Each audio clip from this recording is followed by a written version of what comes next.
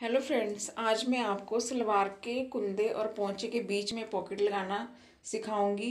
तो मेरे जो कस्टमर हैं, उन्होंने कहा था कि मैंने सलवार की बेल्ट में पॉकेट नहीं लगानी है, कुंदे में पॉकेट लगानी है। तो मैंने सोचा क्यों ना मैं ये वीडियो आपके साथ शेयर करूँ, ठीक है? तो मेरी वीडियो में बने रहिए। तो सबसे पहले हमने जैसे सलवार को स्टिच करते हैं, वैसे ही स्टिच करना है। तो ठीक है, दो कुंदे मैंने जोड़ लिए हैं और ये दो कुंदे मैंने नहीं जोड़े हैं, इसको पॉकेट लगाने के बाद में जोड़ेंगे।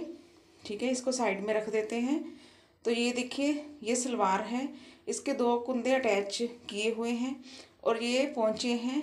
ठीक है तो इसको हम ऐसे अलग कर लेंगे मतलब खोल लेंगे सिंगल कर लेंगे। तो ये हमने पॉकेट लगानी है इसमें।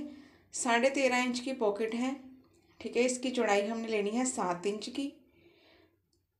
तो ये जो ये देखिए जॉइंट है पूरा कपड़ा। तो साढ़े तेरह इंच हमने ली इस तरीके से। मतलब पूरी सताईस इंच इसकी लेंथ ली है हमने। तो साइड में इसको इस तरीके से जोड़ देंगे। ठीक है ये हमने सिलाई लगा दी है। अब पॉकेट को इस तरीके से देखिए खोलेंगे ये, नीचे से बंद है। अगर आपकी ये जॉइंट नहीं है तो नीचे से आप सिलाई लगा करके जॉइंट कर दें। ठीक है? तो इस तरीके से हमने पॉकेट तैयार कर ली। और ये हमारी जो सलवार का पहुँचा है ये देखिए ये कुंदा है, ठीक है? ये कुंदा है जो हमने ज्वाइंट कर रखा है और ये हमारा जो सलवार का पहुँचा है।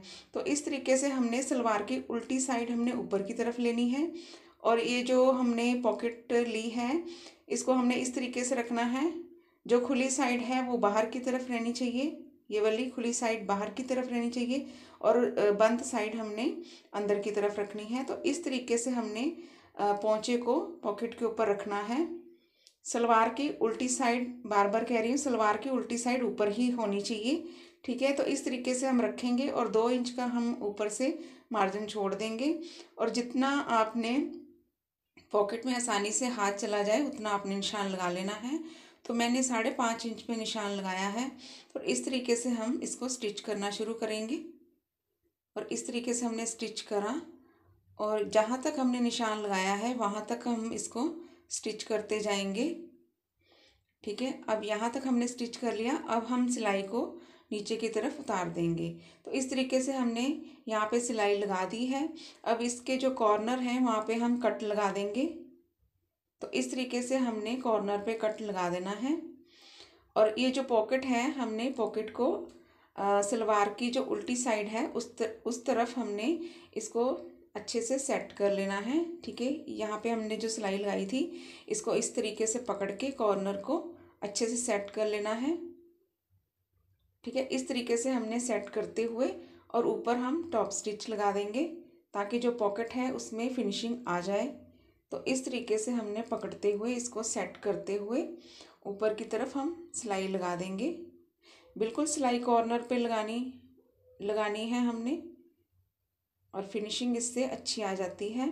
तो इस तरीके से हम इसमें सिलाई लगा देंगे और जो पेंट प्लाज़ो है प्लाज़ो है उस पर भी आप इसी तरीके से पॉकेट बना करके लगा सकते हैं, ठीक है? ये जो उल्टी साइड है पॉकेट की, ये हमारी अंडरग्राउंड हो जाएगी, अंदर की तरफ़ चली जाएगी और इस तरीके से हम पॉकेट को सेट करते हुए, ठीक है? इस तरीके से हम यहाँ पे सिलाई लगा देंगे। तो हमारी जो पॉकेट है, वो बन के तैयार हो जाएगी। ठीक है? पॉकेट लगाने के बाद ही हमने जो कुंदे रखे थे साइड पे, वो हमने जोड़ने हैं।